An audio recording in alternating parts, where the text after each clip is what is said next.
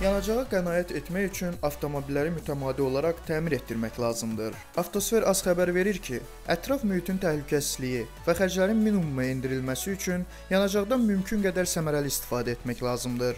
Ucuz yanacaq almayın. Sürücülər ilk 5 kilometrdə yüksək sürətlə hərəkət etməməyə diqqət etməlidir. Çünki ilk kilometrlərdə yüksək sürət zamanı mühərrikin X sürtünməsi artır və buna görə yanmamış yanacaq yanma kameralarına keçir və istehlak ciddi şəkildə artır.